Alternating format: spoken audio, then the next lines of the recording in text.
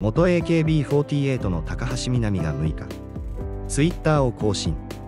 6月21日に亡くなったダンス界の巨匠夏真由美さんを偲んだ。元グループ総監督の高橋は右も左も若。らない私たち AKB48 一期生に。アイドルとは何か。ステージに立つとはどういうことなのか。その一つ一つを教えてくださ。たのは夏先生でしたと解雇。厳しさと優しさのこもった言葉でめバーやスタッフにも様々な。言葉をかけてくれた夏氏への。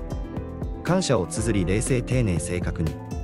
これからも夏先生に教えてもらった。ことを忘れず一つ一つのお仕事に向かい。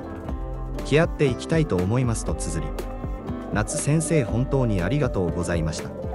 大好きです。心からご冥福をお祈りしますと結んだ。